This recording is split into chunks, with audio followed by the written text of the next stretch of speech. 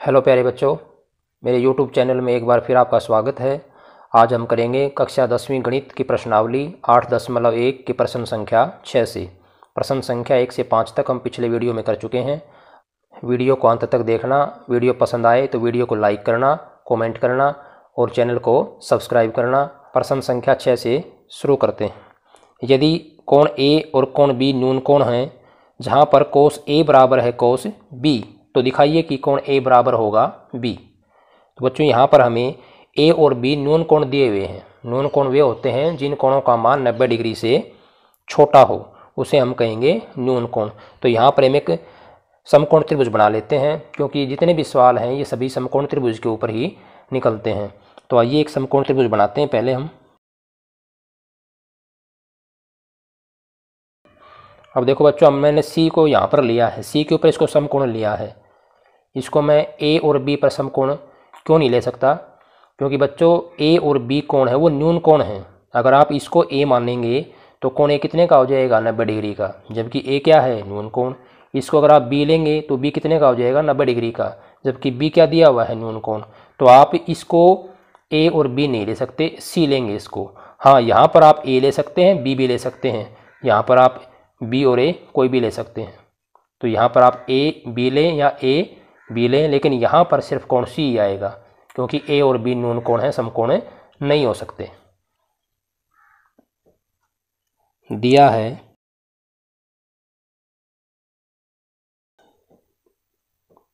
ये हमें दिया हुआ है। सिद्ध क्या करना, हमें उसको भी लिख लेते हैं एक बार। तो बच्चों, इस त्रिभुज के अंदर देखिए, सबसे पहले हम कोस ए निकालेंगे। आपको सूत्र तो याद होगा, मैंने पीछे प्रश्न संख्या एक से पाँच में बताया था, आपको अच्छे समझाया था कि इसके अंदर ट्रिक होती है, इसको यूज़ करते हैं अल लाल, बटे, के के, ए, कक्का, लाल, बटे, कक्का। ये जो होता है पहला, ये जो पहला है एल बटे के ये होता है साइन के लिए, लंब बटे, कर्ण। दूसरा ए आधार बटे कर्ण कोष के लिए। तीसरा, लंब बटे, आधार, ये होता है टेंजेंट के लिए। तो यहाँ पर हम कोस ए का मान निकालेंगे। कोस ए त्रिभुज ए बी सी से कोस ए बराबर किसके होगा? देखो अब यहाँ पर जब हम निकाल रहे हैं कोस ए तो इस कोण को लेंगे हम ए वाले को। और मैंने बताया था बच्चों, जो कोण आप लेते हैं, जिस कोण के भी आप ये जितने भी त्रिकोण त्रिकोणमिति अनुपात निकालते हैं तो उसके सामने वाली भुजा क्या हो जाएगी? लंब। यहाँ पर आप निकालना है कोस ए तो ए के सामने जो भुजा है बी सी वो हमारा हो जाएगा लंब। और ये हमारा ए बी, ए सी कहलाएगा आधार। तो यहाँ पर कोस ए बराबर होता है आधार बटे कर्ण। तो हमारा आधार हो जाएगा ए सी। बटे कर्ण कर्ण होता है सबसे बड़ी भुजा या नब्बे के सामने वाली भुजा। इसकी बिल्कुल आसान पहचान है। कर्ण सबसे बड़ी भुजा कहलाएगी या जो नब्बे के सामने होगी भुजा कहलाएगी कर्ण। तो लंब बटे सॉरी आधार बटे कर्ण। आधार है ए सी, कर्ण है ए बी। नंबर एक। इसी प्रकार निकालेंगे कोस बी अब बच्चों, आप निकाल रहे हो कोस बी तो अब यहाँ पर आपने बी कोण को देखना है? अब कोण बी की जो सामने की भुजा होगी, वो कहलाएगी लंब। यहाँ पर अब ए सी लंब बन जाएगा। क्यों? क्योंकि आप कोस निकाल रहे हो बी के साथ। क्योंकि यहाँ पर आप कोस बी का मान निकाल रहे हो तो हमें कौन लेना है बी को? अब कौन बी के सामने की भुजा ए सी है, वो कहलाएगी लंब। और ये हो जाएगा हमारा आधार और ए बी होगा कर्ण। तो यहाँ पर कोस होता हमारा आधार बटे कर्ण। अब कोस बी के लिए आधार हो जाएगा बी सी। तो यहाँ पर इसको मान लिया समीकरण नंबर दो। अब समीकरण एक व दो से हमें दिया हुआ है क्या कि कोस ए बराबर कोस बी तो हम कोस ए और कोस बी के मान को बराबर रख देंगे। ए सी बटा ए बी बराबर कोस बी का मान है बी सी बटा ए बी क्यों? क्योंकि हमारे कोस ए और कोस बी क्या हैं? बराबर दिए हुए हमें ये। ये हमें दिया हुआ है। इनके मान भी क्या होंगे? बराबर होंगे। यहाँ से ए बी से ए बी कट जाएगा। ए सी बराबर होगा बी सी अब बच्चों देखो, इस त्रिभुज के अंदर, त्रिभुज ए बी सी में हमने ये दिखा दिया कि ए सी बराबर हो गया बी सी अब बच्चों ए सी और ये बी सी बराबर हैं। तो आपने पीछे पढ़ा भी था, एक त्रिभुज में अगर दो भुजा बराबर हैं तो उन बराबर भुजाओं के सम्मुख कोण भी क्या होते हैं? बराबर। तो ए सी का सम्मुख कोण हो जाएगा बी और बी सी का सम्मुख कोण हो जाएगा? ए क्या आप लिखेंगे? यहाँ पर क्या लिखेंगे? समान भुजाओं के सम्मुख कोण बराबर होते हैं। ये लिख देंगे यहाँ पर हम। तो ये हमारे प्रूव करना था, हमें सिद्ध करना था कि कोण ए बराबर कोण बी प्रश्न संख्या सात को पढ़ते हैं। यदि कोट थीटा बराबर है सात बटे आठ तो नंबर एक एक जमा साइन थीटा गुणा एक घटा साइन थीटा बटे एक जमा कोस थीटा गुणा एक माइनस कोस थीटा नंबर दो कोट स्क्वेयर थीटा का मान निकालिए।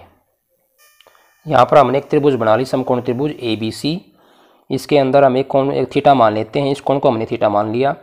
आप बी ए को भी थीटा मान सकते हैं सी को भी मान सकते हमने सी को मान लिया कि हमारा जो कोण है, ये थीटा है। अब हमें दिया हुआ है कि कोट थीटा बराबर है सात बटे आठ।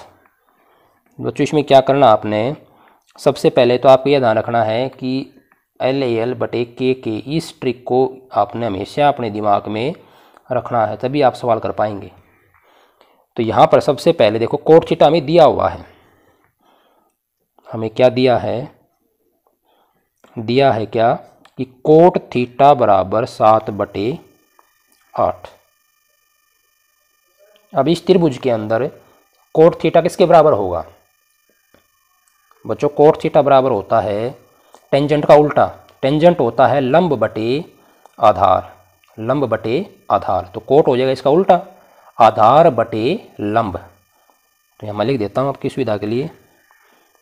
तो मैं यहाँ पर लिख देता हूँ, थोड़ा आपको इजी हो जाएगा कंफ्यूज नहीं होंगे आप। कोट थीटा बराबर होगा आधार बटे लम आधार बटे लम। अब यहाँ पर देखिए, थीटा हमारा ये है तो थीटा के सामने की भुजा क्या हो जाएगी? लंब। और ये भुजा क्या हो जाएगी? आधार। तो आधार क्या हो जाएगा? आधार हो जाएगा बी सी और लंब हो जाएगा ए बी थीटा के सामने वाला। अब दिया हुआ है कि कोट थीटा बराबर है सात बटे आठ। इसका मतलब ये हो जाएगा कोट थीटा हमारा है बी सी बटे ए बी यानी बी सी बटा ए बी को हम लिख सकते हैं सात बटे आठ। क्योंकि कोट थीटा बराबर है सात बटे आठ, और कोट थीटा बराबर होता है आधार बटे लंब, आधार है बी सी लंब है ए बी तो ए बी बी सी बटे ए बी बराबर हो जाएगा सात बटे आठ। यहाँ से बच्चों हम लिख सकते हैं कि बी सी बराबर सात एक्स ए बी बराबर आठ एक्स देखो, यहाँ पर हमें अनुपात दे रखा है बी सी का और ए बी का जो अनुपात है, वो सात बटे आठ है। बी सी को मान लेंगे सात एक्स यहाँ पर एक्स कोई भी एक चर राशि है। आप एक्स लो वाई लो, जेड कुछ भी ले सकते हैं। तो हमने एक्स ले लिया कि बी सी बराबर है सात एक्स और ए बी बराबर है आठ। जहाँ पर भी अनुपात होता है, वहाँ पर हम किसी चर से गुणा कर देते हैं या आपने पीछे भी छोटी क्लास में पढ़ा होगा। अब हमें इस त्रिभुज के अंदर देखो बी सी का पता चल गया सात एक्स है ए बी का मालूम पड़ गया आठ एक्स है। अब हमें ए सी निकालना पड़ेगा। इसके अंदर में ए सी निकाल लेते हैं। क्या निकालेंगे? ए सी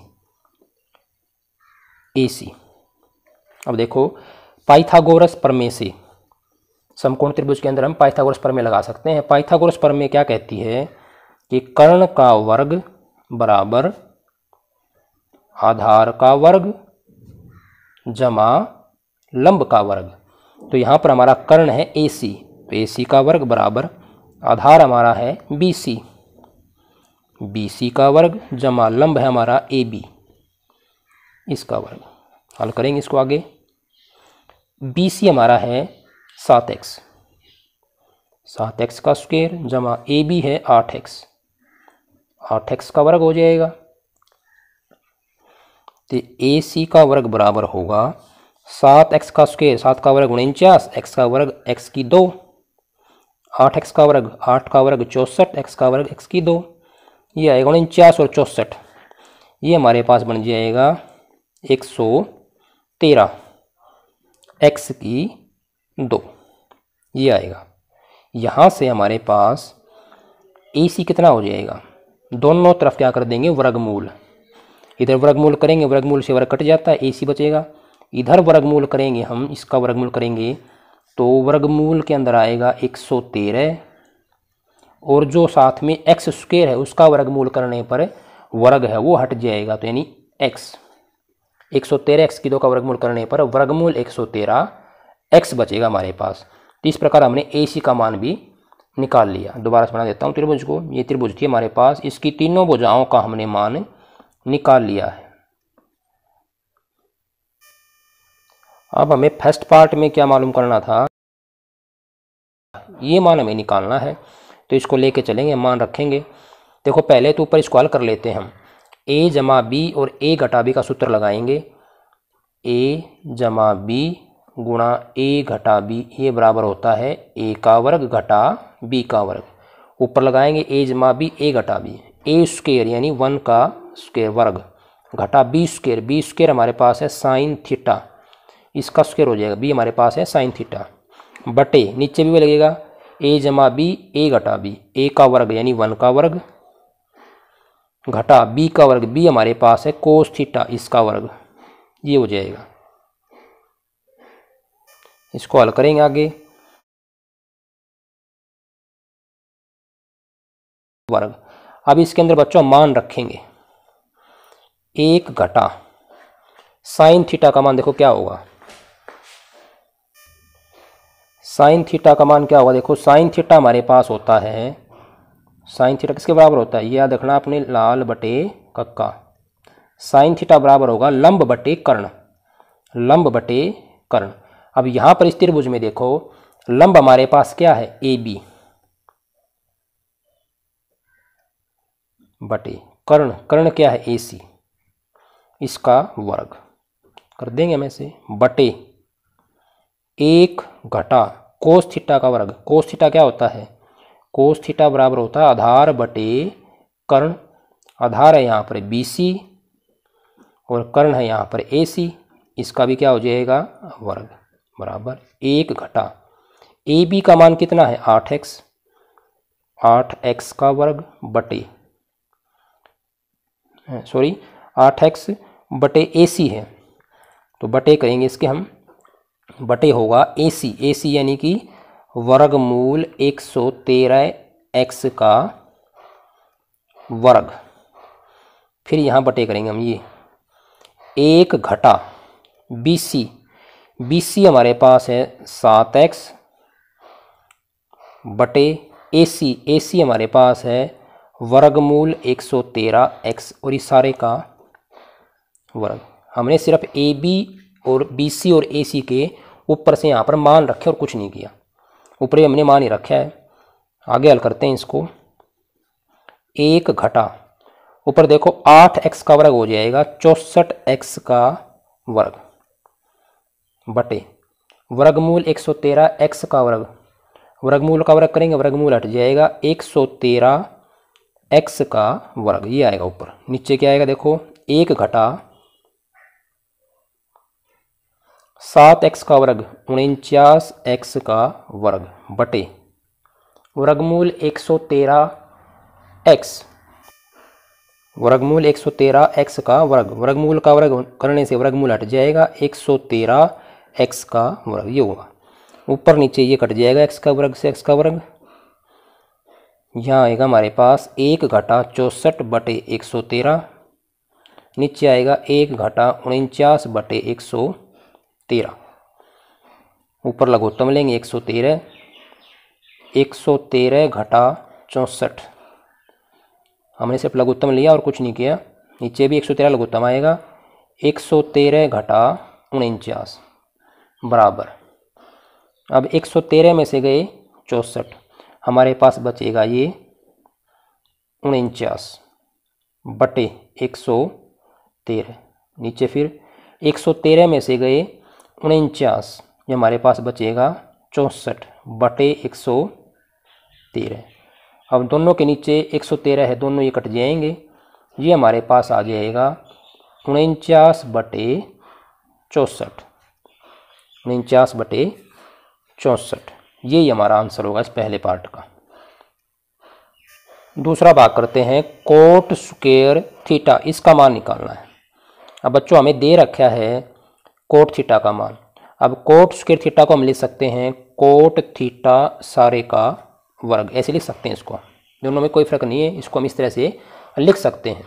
अब कोट थीटा का मान हमें दिया हुआ है इसी प्रश्न में कि कोट थीटा बराबर है सात बटे आठ। उसका मान रख देंगे हम, सात बटे आठ उसका वर्ग। जहाँ पर कोट थीटा था, वहाँ पर उसका हमने मान रख दिया। सात का वर्ग हो जाएगा उनचास, आठ का वर्ग चौंसठ। तो उनचास बटे चौंसठ। ये इसका आंसर हो जाएगा।